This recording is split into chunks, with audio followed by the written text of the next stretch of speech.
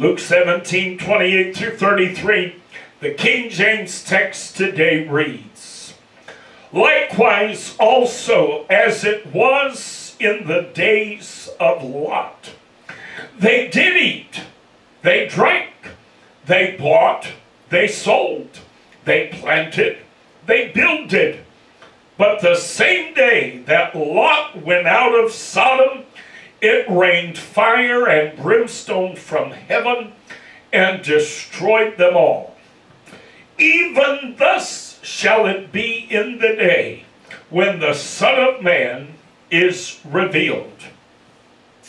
In that day he which shall be upon the housetop and his stuff in the house, let him not come down to take it away. And he that is in the field, let him likewise not return back. Remember Lot's wife. Whosoever shall seek to save his life shall lose it, and whosoever shall lose his life shall preserve it. Amen. If you bow your heads with me one more moment for a moment of prayer. Father, we love you, God, so very much. The Word of God is so powerful. It is today, Lord, indeed sharp. It is today, God, able to pierce even to the dividing asunder of bone and marrow, soul and spirit. Lord, it is not a weapon of destruction, but it is rather today a, a tool that we are able to use for survival. It is a tool, God, that is able to provide food. It is a tool that is able today, Lord, to protect us from the enemy. It is a tool today, God, that is able to perform surgery when surgery is necessary. The man of God, the individual who would stand in the sacred desk, myself today, oh God, we need the anointing, the presence, the power of the Holy Ghost to rest upon us as we preach the Word of God.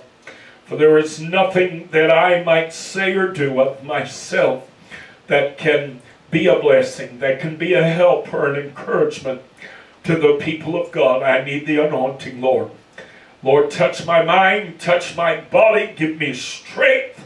Allow me to speak with divine authority and love, that the people of God might not merely hear with their ears, but that rather, O God, they might receive upon the tablet of their heart the engrafted word of the Lord, for they will know in their spirit, having received the testimony of the Holy Ghost, that this is in fact today, O God, the word of the Lord, and not the opinions or contrivance of men.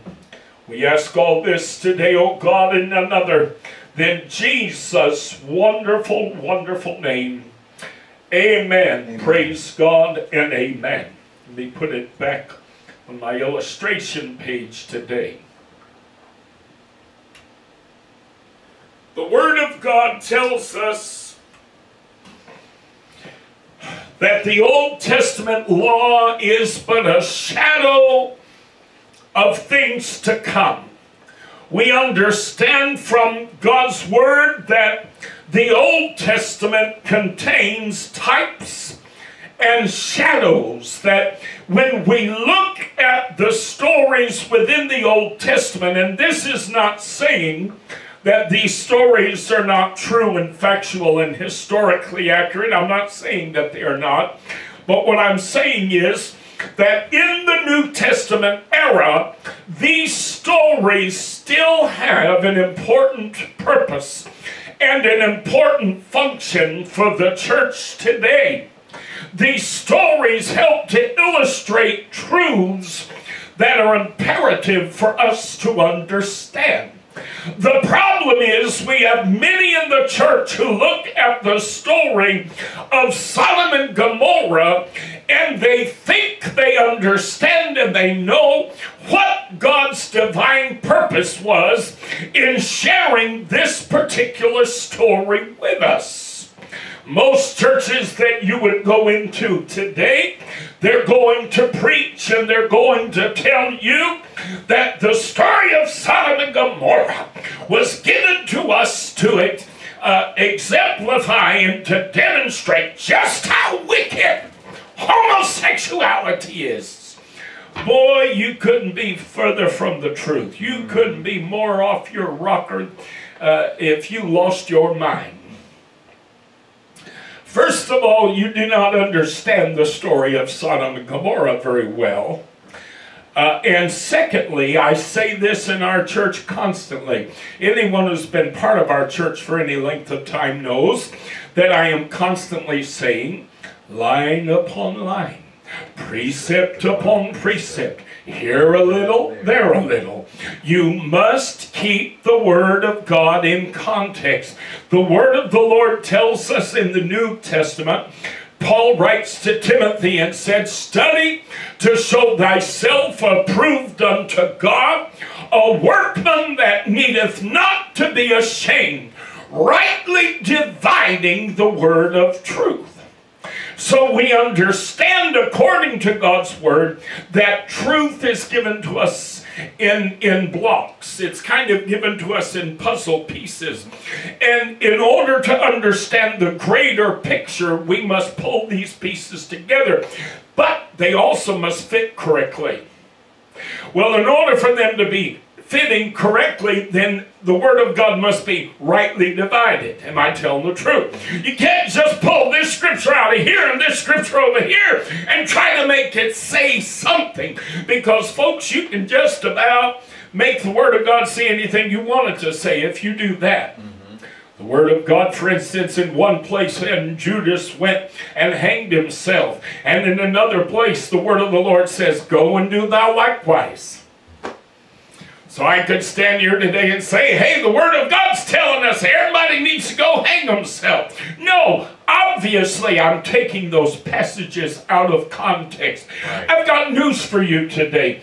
The Word of God tells us exactly why the story of Sodom and thus the story of Lot why that story is included in the canon of the Old Testament. It tells us why that passage exists, why it is there. The problem is we get people who want to pull Genesis 19 out and they want to preach a message without considering what God's Word says about God's Word. I use another phrase frequently. Anyone who has been part of our church, we've been in Dallas now for nearly 19 years.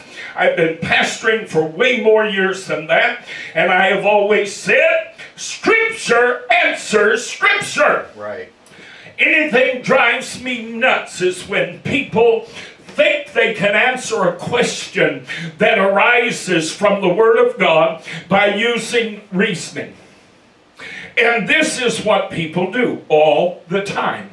For instance, in the book of Genesis, the Word of God said, the Lord says, Let us make man in our own image and after our own likeness. And immediately, theologians going back thousands of years to the Nicene Council, they began to employ human reasoning. Why does God say, Let us? Oh, well, that's easy because that's the Trinity speaking. That speaks of the triune nature of God. No. Scripture answers Scripture. Where in the Word of God do you read anywhere that the Father and the Son and the Holy Ghost, there are three separate people, and they're all speaking in chorus to say, let us make man in our own image? No, that is not, that's not said anywhere. The Word of God does tell us a couple of things. Does tell us, first of all, that He is King of Kings that he is the creator of the world. He is the, the grand potentate, if you would. He is the most high sovereign God. And anyone knows that sovereigns often speak for all of their kingdom, and therefore they will say, We are not pleased. The Queen of England, even, the Queen or the King of various nations, when they respond to various things, they don't say, I am not pleased with this or I'm not happy with this. They literally speak for the kingdom because they are the authority. They are the one who speaks. God spoke for all of creation in saying, Let us. He's speaking as a sovereign. Secondly, we do know who he was speaking to at creation because the Word of God tells us. What answers Scripture? Scripture answers Scripture. The Word of God tells us he spoke to the angels and the angels performed his word. Well, it makes perfect sense, seeing as angels are spiritual beings, and God said, Let us make man after our own image. God is a spirit. Angels are spiritual beings. So God is saying, Let's make man as a spiritual being. Let's make him also spiritual. Amen. So it drives me crazy when people try to answer questions that arise from the Word of God, but they do not do so by going to the Word of God. The story of Lot, as we read it in Genesis chapter 19, is in fact today a type of the church. In our primary text today, Luke chapter 17, we read the Lord speaking and teaching concerning his return, concerning the, the rapture of the church, uh, the redemption of God's people, the Lord has just finished prior. Remember what I've said again many, many times, over and over again. Keep it in context. Keep it in context. I didn't read the whole thing because I didn't want to stand here for 10 minutes reading the entire chapter. But if you look immediately prior to the text I read today, you'll see that the Lord is using examples to illustrate the coming of the Lord, the timetable surrounding the coming of the Lord. Immediately prior to what we read today, he speaks of the days of Noah. He said, as it was in the days of Noah. They were married and given in marriage, you know. Uh, they did all these things and they, they were just living their lives and they weren't really caring or thinking about anything coming. And then in our primary text today, look at how it begins. The Lord says, likewise, also as it was in the days of Lot. So he's saying, I've given you one example, which is the example of Noah in the days of Noah. He said, likewise. So in other words, here is an additional example. Here is an additional illustration. But there's a difference in the illustration of Lot and the story of Lot. There's something different about that illustration than there was in the days of Noah. His illustration concerning the days of Noah illustrated how few were saved compared to the number of people that actually lived and existed in Noah's time. His illustration in that particular story had to do with the fact that only eight souls were saved out of all of humanity. Out of all those that lived at that time, only eight were saved. But now, when he gets to the story of Lot, he's not illustrating that only three came out of Sodom and lived. Because, of course, Lot's wife turned around and turned into a pillar of salt. He's not talking about the number of people in the story of Lot, but listen. He said, likewise, also as it was in the days of Lot, they did eat, they drank, they bought, they sold, they planted, they builded. He said, as it was in the days of Lot, it was a lot like the days of Noah. People lived their lives, they were doing what they did. They didn't really pay any attention, they weren't mindful. No one thought about the possibility of destruction coming. So there's a similarity in conditions between the days of Noah and the days of Lot. But listen, in verse 29 he said, But the same day that Lot went out of Sodom, it rained fire and brimstone from heaven and destroyed them all. Now listen, even thus shall it be in the day when the Son of Man is revealed.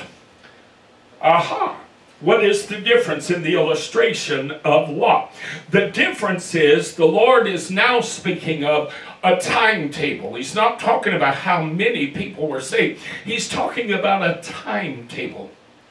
He said, as soon as righteous Lot and his family exited Sodom, the judgment of God, which is what the fire of, uh, that fell was, began to fall. Am I telling the truth? He said, likewise shall it be. Oh, hallelujah. I'm going to get a little Pentecostal today. Likewise, so shall it be at the re revelation, the revealing of the Son of Man. Listen to me, children. When the righteous, when the people of God are removed at the rapture of the church, the Lord is saying, immediately the judgment of God is going to be released in the earth. Hallelujah. But not one minute sooner. The righteous must first be removed. Hallelujah. So the illustration the Lord gives concerning Lot how many people, how many times you ever heard this preached? How many times you ever heard this taught? No, they're too busy talking about homosexuality and the cities were destroyed. No, the Lord is here using the story of Lot specifically as an example, specifically as an illustration. And he is specifically using it to illustrate something very specific a timetable. We know that the Word of God tells us that at the hour that the great uh, revelation of the Antichrist occurs, and he commits the abomination of desolation. The Word of God said he'll go into the restored temple, which does not yet exist in Israel, in Jerusalem, but he will go into the restored temple he will declare himself to be God. Now, elsewhere in the gospel writings, the Lord says that it is this exact moment when this happens, he tells the church, Look up! Because your redemption is at hand. Said, The minute this happens, look up! said, don't turn around go. Same thing he said concerning this story. Same thing he said concerning this illustration. In this illustration, he says, In that day, he which shall be upon the housetop and his stuff in the house, let him not come down to take it away. And he that is in the field, let him likewise not return back. So he says, just like he says concerning the Antichrist coming into the temple and committing the uh, abomination of desolation, says at that exact moment, the church is going to be removed. Because at that exact moment, the greatest sin that humanity could ever commit will have been committed.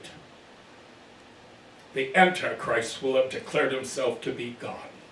And at that moment, the tribulation period for the world is going to begin. At that moment, judgment is going to begin upon the world. What must God do in order to rain down fire, so to speak? What must God do before tribulation can begin in the world? What must He do before He unleashes judgment in the world? He must remove Lot. He must take the church out. Do you hear what I'm telling you now? So do you see how this story, according to Jesus, has a whole lot greater an import than merely demonstrating, according to so many of my fundamentalist and evangelical friends, uh, how sexual orientation is this great and abominable sin. No, that is not at all the issue. Listen, let's continue to read quickly. He goes on to say, Remember Lot's wife? Said, Don't listen.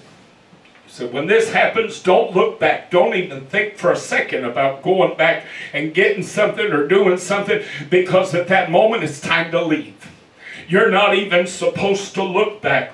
He said, Whosoever shall seek to save his life shall lose it, and whosoever shall lose his life shall preserve it. The story of Lot today is a type of the rapture of the church. Most preachers and believers lose this important truth as they focus on trying to falsely make the entire story about homosexuality. I have done the research. I know what I'm talking about. Jewish scholars and rabbis will tell you plainly that one homosexuality was not condemned by the uh, law of Moses in wholesale fashion. There was only very specific, a very specific sexual act between men and women were not even mentioned that was condemned within the context of the law. Secondly, the people of Israel were uh, told not to commit a number of sexual acts because they were being led by Moses out of Egypt through the wilderness into the land of Canaan, and it was imperative that they grow as a nation in order to secure their uh, security. It was imperative, you know the old saying, there is security in numbers. It was imperative that they grow numerically in order to establish their security, and therefore God said, Don't do a number of things sexually. There are a number of things I don't want you to do because it's imperative that every sexual act potentially result in uh, the birth of a child. Why? Because it was about nation building. Talk to rabbis, talk to scholars in the Jewish community, and they will tell you that these two things are true. Thirdly, the primary and most obvious sins of Sodom related to their lack of hospitality, which was a grave sin according to the law of Moses. If you look at Ezekiel chapter 16, verses 47 through 52, we are told plainly what the sins of Sodom were. We are also told, listen to me, children, we are also told by God through the prophet Ezekiel that Israel committed far greater sins than Sodom. That's true. I don't remember one time reading anywhere where Israel had become a homosexual society. But in order for their sins to have been greater than Sodom, that would had to have been true. Secondly, in order for their sins to have been greater than Sodom, then their sins would have to be far weightier than homosexuality, if indeed homosexuality were the issue. But according to preachers we hear today, homosexuality is the greatest sin anyone could commit. That's not what the Word of God says. Listen to what the Lord said in Ezekiel 16, 47 through 52. He's speaking to Israel. He said, Yet hast thou not walked after their ways, nor done after their abominations. Talking about uh, the sins of Sodom and her sister cities. But as if that were a very little thing, thou wast corrupted more than they in all thy ways. Isn't it funny how these fundamentalists and evangelicals love to claim they believe in the literal interpretation of Scripture? I believe the Bible says what the Bible says. Hallelujah. Till you read something you don't like, then all of a sudden it don't say what it says at all. God here says to Israel, you make the sins of Sodom look like a little thing. Oh, so homosexuality isn't the greatest sin on the planet. If you believe that was the sin of Sodom to begin with, in a moment we're going to find out that isn't true either, of course. He said, You made the sins of Sodom look small, like it was a very little thing. He continues, And he said, and he said, and thou wast corrupted more than they, not in most of your ways, not in many of your ways, but in all thy ways, which would include sexually, so far as I can understand. As I live, saith the Lord God, Sodom, thy sister, hath not done, she nor her daughters, as thou hast done, thou and thy daughters.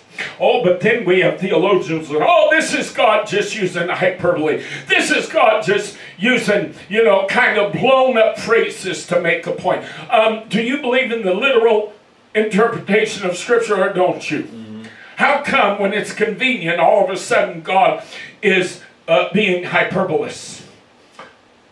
Listen, behold, this was the iniquity of thy sister Sodom.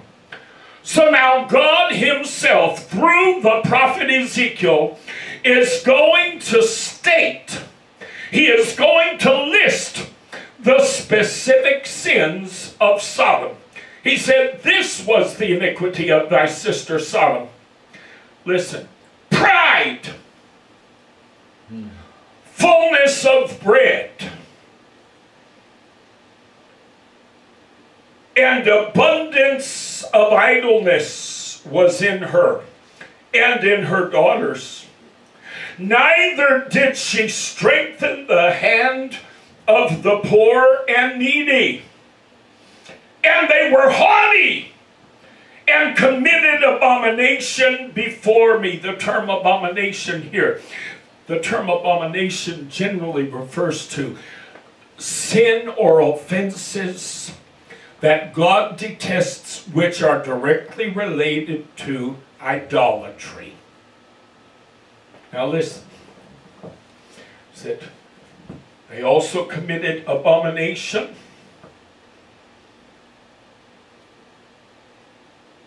Before me. Therefore I took them away as I saw good. But look at verse 51. Neither hath Samaria committed half of thy sins. But thou hast multiplied thine abominations more than they, and hast justified thy sisters in all thy abominations which thou hast done. What is the Lord saying? He says, You literally make Sodom look good by reason of all the abominations that you have done. You've justified your sisters. You've justified them. You know, it's like you got a kid that's bad, but then you see a kid who's way worse than the kid you got, and you turn around and look at your kid and say, Good grief, compared to that, my kid looks good. My kid looks like an angel. He may be hyperactive. He may misbehave. He may talk back. But good grief, he's nothing like little cousin so and so over there. Do you follow what I'm saying? This is what the Lord is saying through the prophet Ezekiel. He literally says, that Israel has justified her sisters, Sodom and the sister cities of Sodom, by reason of its abominations more than they, and has justified thy sisters in all thy abominations which thou hast done. Well, apparently, if the sins of Sodom were homosexuality, then somewhere in the mix, Israel would had to have had a reputation for and a penchant for homosexuality. This would had to have been a major part of their quote unquote abominations. If in fact, look at Hebrew scholars and they will tell you homosexuality was never a major is issue in Israel. I've done the research. I've looked. A lot of people, you know, they just love to talk like they know what they're talking about, but they've never done the research. I have. But listen to what the Lord says. Thou also, which hast judged thy sisters, bear thine own shame for thy sins that thou hast committed more abominable than they. They are more righteous than thou. Yea, be thou confounded also, and bear thy shame, in that thou hast justified thy sisters. He says, bear your own shame, because you made them look good. You know what's funny? If you want to insist that the sins of Sodom were not what God said they were in Ezekiel, through the prophet Ezekiel. If you want to insist that the sins of Sodom were not what God said they were, pridefulness, and abundance, abundance of idleness, they did not strengthen the hand of the poor and the needy. If you want to insist that you know better than God what the sins of Sodom were, and that the real sins of Sodom were homosexuality, then I've got news for you today. Ezekiel is telling us in this passage that that issue is small. It is minute compared to the abominations and the sin that Israel later committed. Do you hear what I'm telling you now? So this idiotic, foolish, stupid notion that homosexuality is somehow the greatest possible sin is garbage. It is foolishness. It is insanity. The Lord said the sins of Sodom, pride, fullness of bread, abundance of idleness. She did not strengthen the hand of the poor and the needy. They were haughty and committed abomination, idolatry, and idolatrous acts before me. Let's look at the story today of Sodom, at least a small portion of it. As we read it in Genesis 19, this is Lot's uh, a portion of Lot's story as it relates to Sodom. In chapter 19, verses 12 through 17.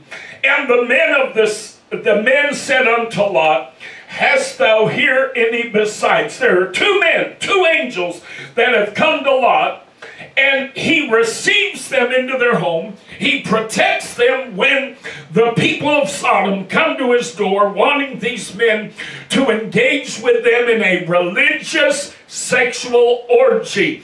This was common in ancient times, folks. This was not something that was uncommon. Many of your ancient religions that originated in Babylon were very sexual in nature. They wanted to include the angels in their grand orgy. They didn't ask the angels if they wanted to participate. And mind you, they looked at these as men. Anyone who has ever done any research or reading, uh, I've read a number of articles, I've looked at a number of books that talk about uh, angels and visitations, uh, physical visitations from literal angels anyone who has ever had a visitation from an angel always describes the angels in two ways. Number well, three ways. Number one, they always say they are fair-skinned and light-haired. Secondly, they are always tall, very, very tall even so much, most people say they're in the neighborhood of eight feet. So they're well beyond the height of a standard man, even a, a, basketball player. They're taller than a basketball player. If we had an angel today standing in this room, his head would be touching our ceiling. But they're also described as being beautiful. They're described as appearing male and they are described as having the most beautiful features. There is something about them as you look at them, whether you're a man or a woman, as you look at them, they just strike you as being the most beautiful thing you've ever seen. Therefore, it would make sense in the story of Lot that as these men entered the city, if these angels appeared to Lot and to the people of Sodom at all, as they're described by hundreds of people through the centuries, then it would make sense that the people of Lot, uh, of uh, excuse me, of Sodom would want to include them in their religious orgy because these are gorgeous men. These are incredible specimens. But listen to what the word of the Lord said. The angels say to Lot, Hast thou here any besides son-in-law, and thy sons and thy daughters, and whatsoever thou hast in the city, bring them out of this place. For we will destroy this place, because the cry of them is waxen great before the face of the Lord, and the Lord hath sent us to destroy it. What? You mean to tell me that the decision to destroy was not made after the people of Sodom uh, came to Lot's door wanting the. Of course, the decision was made prior to this. When you read earlier in chapter 18 and earlier in chapter 19, you read the story and you go back in context, you see that the Lord Himself appeared, listen to me, with these two angels before Abraham, who was Lot's uncle. And they shared with Abraham their plan. They said, the reputation of Sodom is so great and so wicked and so evil that we've come down to investigate this matter for ourselves because the plan has already been set in motion to destroy it. So the plan was to destroy Sodom already. That plan was already in motion. Am I telling the truth? But Abraham turns around and he says to the Lord in Genesis 18, verse 23, and Abraham drew near and said, Wilt thou also destroy the righteous with the wicked? So Abraham said, Now, Lord, wait a minute.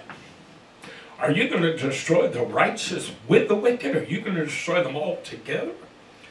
That doesn't seem right. That doesn't seem like something that a just God and a righteous God would do. And the Lord said, No, I wouldn't destroy the righteous with the wicked. And that's when Abraham began to barter with God. So, well, if there be 50 righteous, if there be 30 righteous, and we know the number kept going down.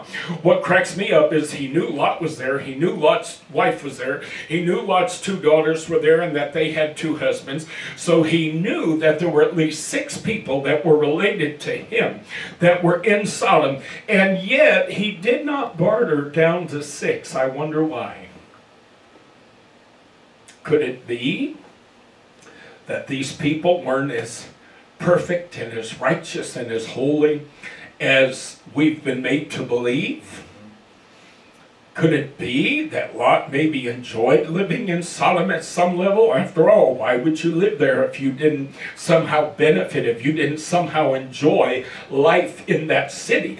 I lived in New York City for 10 years, but I can tell you, uh, I love visiting New York. It's a great city to visit, but I'll tell you, for me personally, I can't stand living there. It is too expensive, it is too loud, it is too uh, uh, obnoxious I did not like living there almost every day that I was there. It, I grew up in a small town in New England. I grew up where every house had an acre of land and where you had lots of rooms and you know you living in New York and the lifestyle in New York never, never, never quite agreed with me.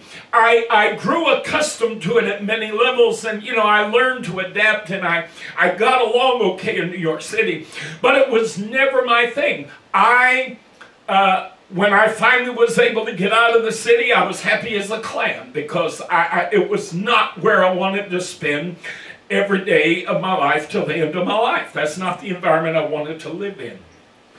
But somehow or another, you had to have something there that kept you there. In my case, it had to do with the fact that I had come into a relationship and, you know, and all this. And, and, and so, you know, uh, there has to be a reason that you choose to stay there. Somehow or another, Lot must have gotten something from that experience that he was willing to stay and to live in Sodom. By the way, for homosexual cities, it's awful strange that his daughters both had husbands. Isn't it funny that these homosexuals, isn't it funny these homosexuals, according to so many great preachers, uh, didn't seem to mind having a heterosexual family living in the midst of them, didn't seem to mind having two heterosexual daughters who had two heterosexual uh, sons-in-law.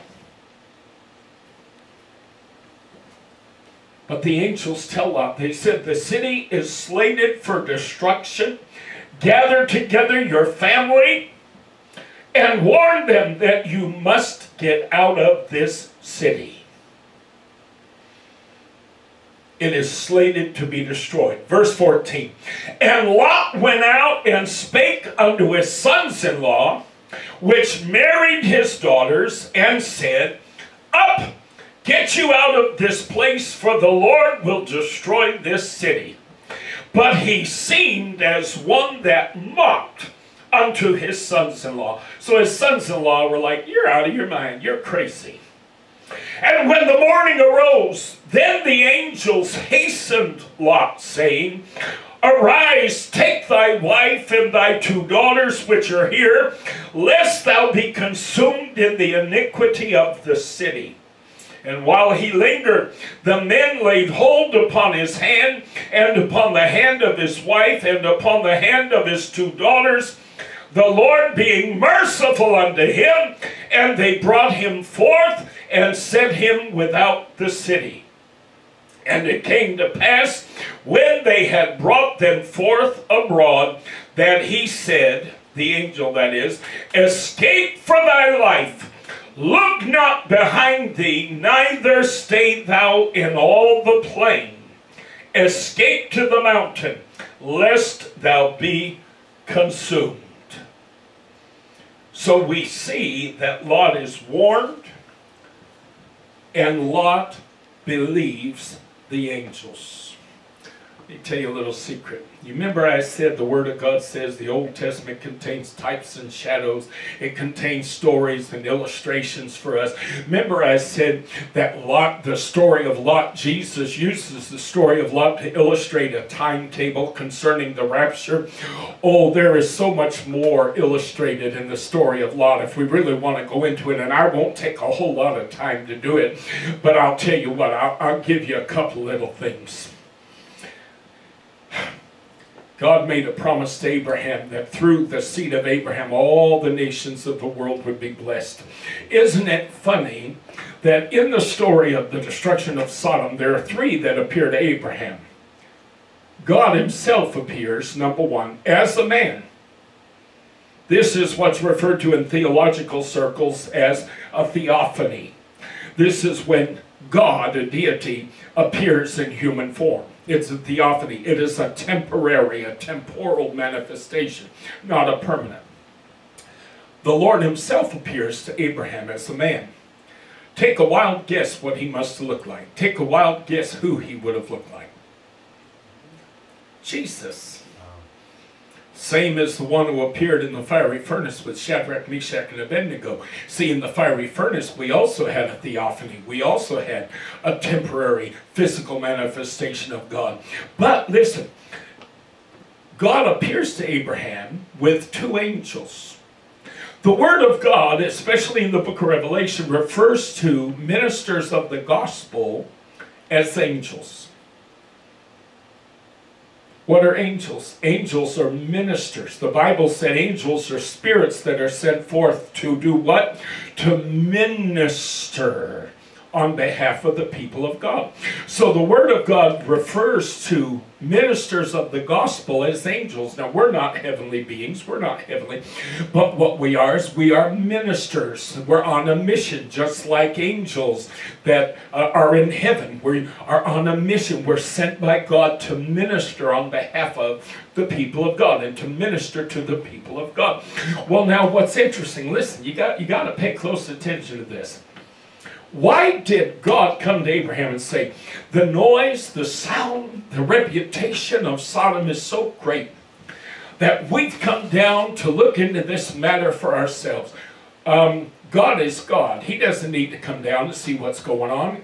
The Bible said he knows the end from the beginning. The Word of God tells us there's nothing that can be hid from Him. Why would God have to manifest Himself physically and come down to earth in order to investigate Sodom? He didn't. He didn't. But He says to Abraham, said, that's why I'm here. I've come to do this. Oh, interesting. Now, when the men then travel and they leave Abraham's presence. The Word of God tells us now that only two men went into Sodom, not three.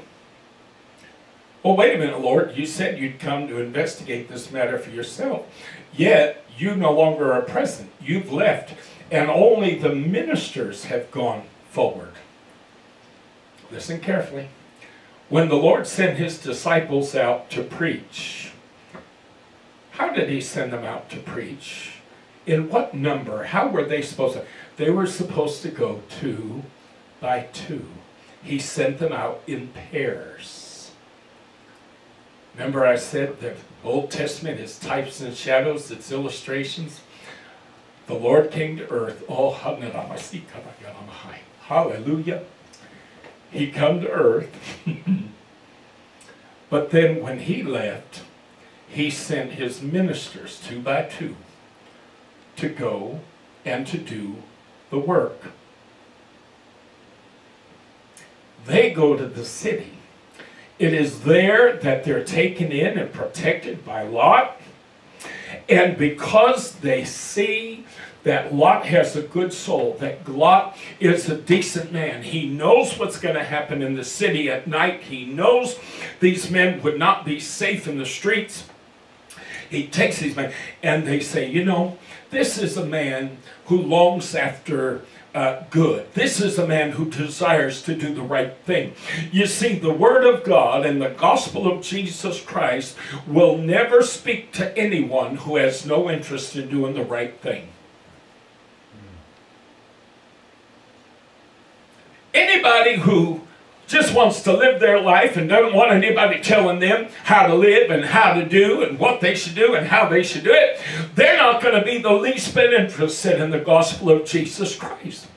When Peter was spoken to by the Lord that there was a man, a Gentile, a Roman soldier sending for him, and that he was to go and to preach the gospel of that man.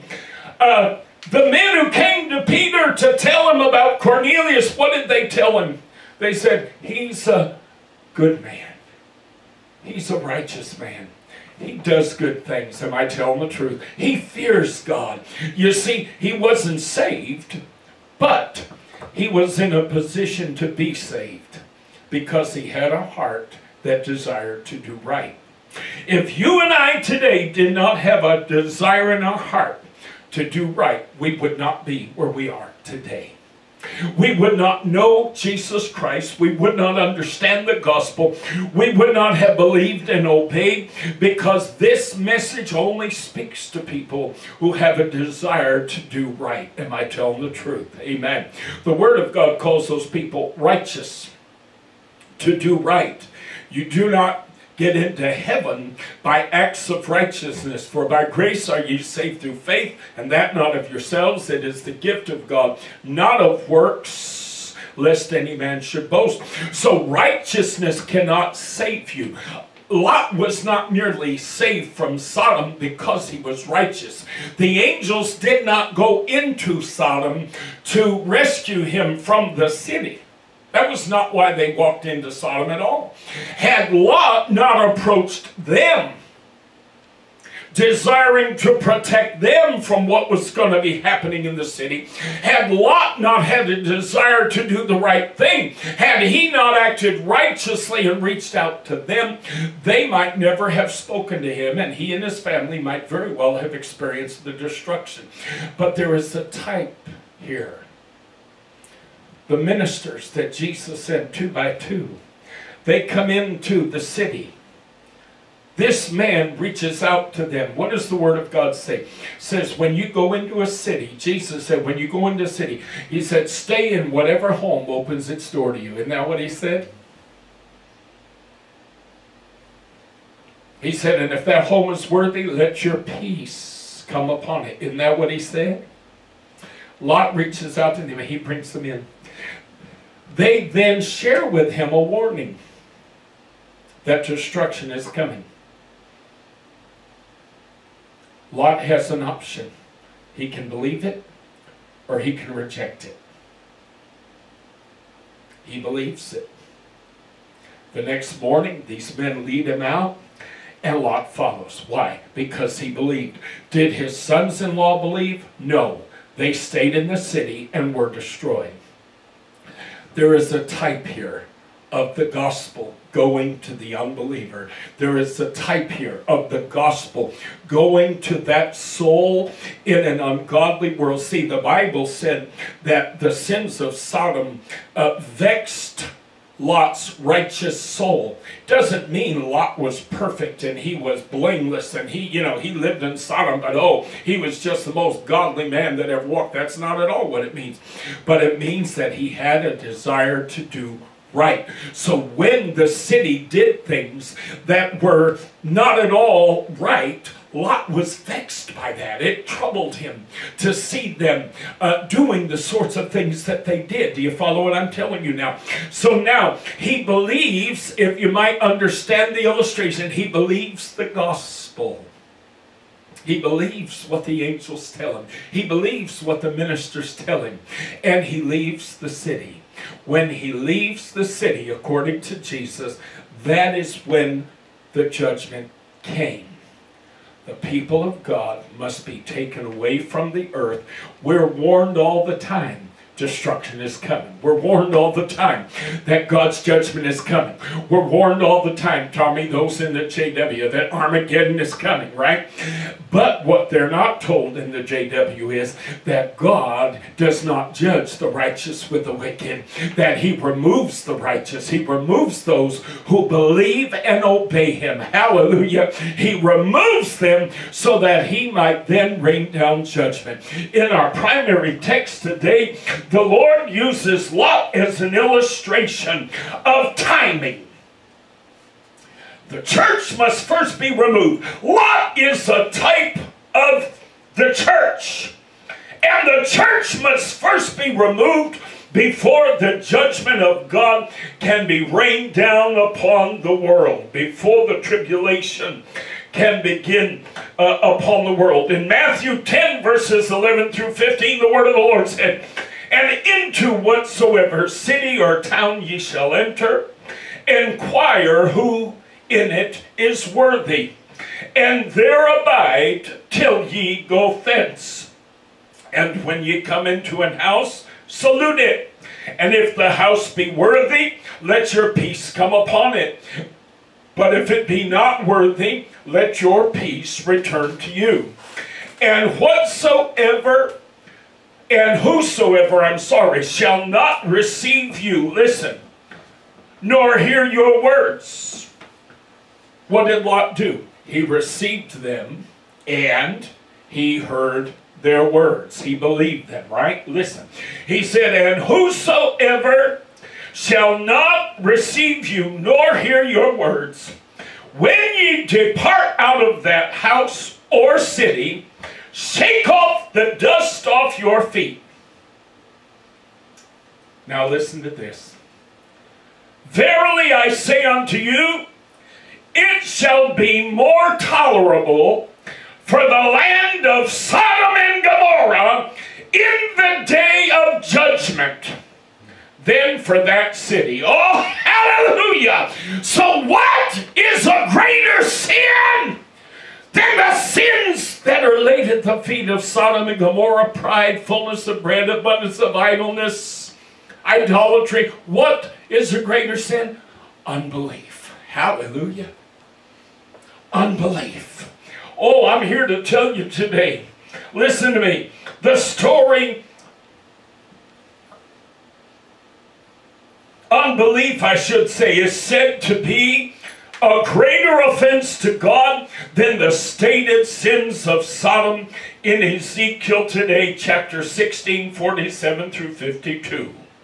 This would explain why the emphasis of the gospel is believe, not behave this way or behave that way. Jesus did not preach behave this way or behave that way. Jesus preached Believe. Hallelujah. The message of the Lord Jesus Christ was believe. The promise of the gospel is to them that believe. No works can secure you a place in God's kingdom, but faith in Jesus Christ will. Hallelujah. Do you see how the story of Lot has a whole lot more going for it than a lot of people know. Hallelujah. Oh, again in Matthew chapter 11, verses 20 through 24, the Lord said, Then began he to upbraid the cities wherein most of his mighty works were done, because they repented not. Woe unto thee, Chorazin! Woe unto thee, Bethsaida! For if the mighty works which were done in you had been done in Tyre and Sidon, they would have repented long ago in sackcloth and ashes. You see, Sodom was never given the option of repentance. No one preached a message of repentance to Sodom. Do you remember when Jonah went to Nineveh? He was told to declare what? Repent? No, he was told to declare destruction. That destruction was coming. But when he went and declared destruction, what happened? The people repented. And God then changed his mind and he didn't destroy them. And Jonah got upset and said, I knew you were going to do that. Sure as I'd like. You're going to make me go there and preach that you're going to destroy them. And by God, they're going to repent and you're going to turn around, forgive and forget. And, and Jonah was upset by this. But Sodom and Gomorrah were not offered the option of repentance. No because the story of Sodom was given to us as an illustration. The illustration being an ungodly world with the church in it. You following me today? The ministers come, they deliver the, the message, the church believes. The church is removed, the fire falls, the judgment of God then comes. Oh, I want to tell you, listen in Matthew, I, I was Matthew 11 again, verses 20 through 24 he goes on to say in verse 20, uh, uh, 22 that they would have repented long ago in sackcloth and ashes. Verse 22 But I say unto you, it shall be more tolerable for Tyre and Sidon at the day of judgment than for you. And thou, Capernaum, which are exalted unto heaven, shall be brought down to hell. For if the mighty works which have been done in thee had been done in Sodom, it would have remained until this day. Oh, interesting. Sodom was never offered the option. They were never, God never went in and performed miracles in Sodom. The Lord never sent a message of repentance to Sodom. Why? Because it, the whole story of Sodom is there to illustrate something different. Do you follow what I'm telling you today? He said, But I say unto you that it shall be more tolerable for the land of Sodom in the day of judgment than for thee. Unbelief is far greater a sin than the sins of Sodom. In Matthew 24, trying to hurry up and close today. Matthew 24, 14 through 21. And this gospel of the kingdom shall be preached in all the world for a witness unto all nations. And then shall the end come. When ye therefore shall see the abomination of desolation, spoken of by Daniel the prophet, stand in the holy place, Whoso readeth, let him understand. Then let him which be in, in Judea flee unto the mountains. Let him which is on the housetop not come down to take anything out of his house. Isn't this identical to what the Lord said in Luke 17? Our primary text today. Are these not the exact words the Lord used in Luke 17? Neither let him which is in the field returned back to take his clothes. Same identical language he used in our primary text today. And woe unto them that are with child, and to them that give suck in those days. But pray ye that your flight be not in the winter, neither on the Sabbath day. For then shall be great tribulation, such as was not since the beginning of the world to this time, no, nor ever shall be. The church is removed when? At the moment the abomination of desolation occurs, and the judgment of God immediately falls. This is exactly what the Lord illustrated in our primary text today. Amen. Luke 17, 28 through 33. This is exactly what he used the story of Lot to illustrate. He said the judgment of God didn't fall until when? Until Lot was removed said as soon as Lot was removed, said as soon as Lot, the same day that Lot went out, boom, the fire fell. Do you follow what I'm telling you? Illustrating a time frame. Oh, hallelujah. The story of Lot today is a type of the church. Righteous people living in an unrighteous world. God will remove his people so that he may rain judgment down from heaven upon the unjust. The Lord rewards the godly and punishes the wicked. He is aware of those that do well and will not permit them to be judged with the wicked. Lot heard the warning from the angels and fled the city.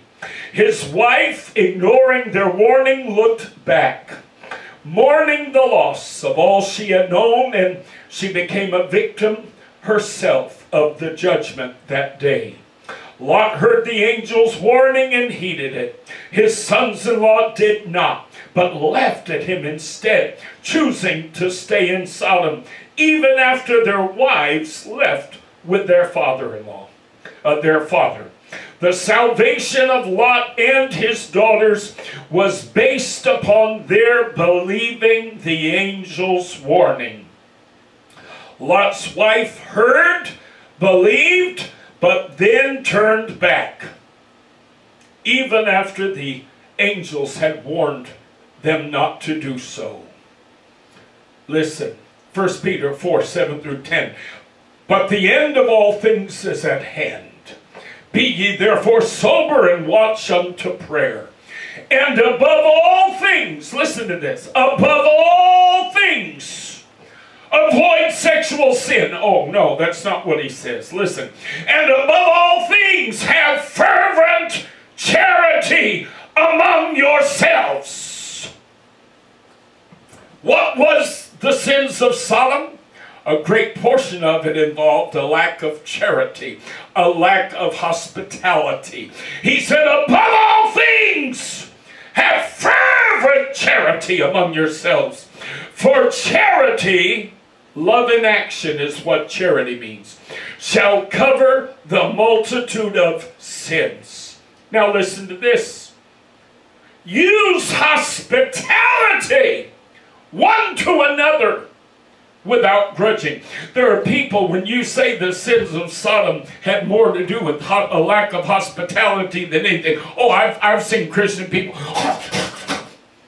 Oh, they snuff at that. Why, that, that's ridiculous. Hospitality, that's not any great sin. I got news for you, it is a great sin. Peter says, charity above all things have fervent charity. Then he said, use hospitality one to another without grudging. As every man hath received the gift, even so minister the same one to another as good stewards of the manifold grace of God. So you know what? Charity and hospitality are very important to God. Hebrews 10, 37 through 39. For yet a little while, and he that shall come will come, and will not tarry. Now the just shall live by faith. Listen, children. But if any man draw back, what did Lot's wife do? She looked back. But if any man draw back, my soul shall have no pleasure in him. But we are not of them who draw back unto perdition, but to them that believe to the saving of the soul. Hallelujah. Oh, there's a lot about Lot that a lot of folks don't seem to understand and they don't seem to get. The story of Lot is not the story of a man who lived in a homosexual city and who was righteous and perfect and, and he was just disgusted by everything he saw. And, you know, uh, the angels came just to visit, I guess. I guess they were there to visit a club or they were there to, you know, check out the local food fair. I don't know. But according to so many, the destruction of Sodom wasn't set in stone until after the people of the city tried to rape and molest these angelic men. No, you got the story all wrong, man. You got it all wrong. Their sins are listed in Ezekiel, and guess what? The term abomination doesn't even appear until the last item on the list. And Ezekiel was a prophet. He was not speaking for himself. He was literally speaking in the name of the Lord or on behalf of the Lord. God does not say anything accidentally. God does not accidentally put things in, a, in an order. I guarantee you, when God puts things in a specific sequence, it is because that sequence is according to importance. Hello now. And their abomination, their idolatry, the sexual conduct that they engaged in was part of their idolatry. That didn't even appear on the list, Tommy, until the end. First, they started with pride and fullness of bread and abundance of idleness, right? Mm-hmm. Uh, haughty. Uh, they didn't care for the poor and the needy. They didn't care for those people. Oh, I want to tell you today, folks, the sins of America are right in line with the sins of Sodom. America is today the modern Sodom. Absolutely. Oh, there's wealth all over the place. There's an abundance of bread. People here, we eat in this country like nobody eats anywhere. You can't go to a restaurant if they don't give you a plate of food piled a mile high. You feel like you've been robbed. And yet, you can go to Europe and they'll serve you a dinner and you look at the plate and think, my God, these people are trying to charge me 30 francs for this. What are they out of their mind? There ain't enough food on this plate to feed it because we're so used to abundance of bread. Am I telling the truth? Got people in this country who are able to spend more time playing golf, riding their boats and water skiing and snow skiing than working. And yet in other countries, if people are going to just survive, they've got to work almost from sun up till sundown, and all they have time to do is sleep. Do you follow what I'm telling you today? Oh, children, I want you to understand this hour. If you understand nothing, I want you to understand today the story of Lot is a type of the church. Hallelujah. If you look at the story of Sodom and look at the story of Lot, understanding it as a type of the church, you will see all the wonderful parallels. I didn't want to go into it today because I don't have time. But the parallels are all there. It's, it's amazing, the parallels. Absolutely wonderful. Take the time to look at the story again and you'll see the parallels. There's a lot about Lot, or a lot more to Lot than a lot of people know. Hallelujah. Which is.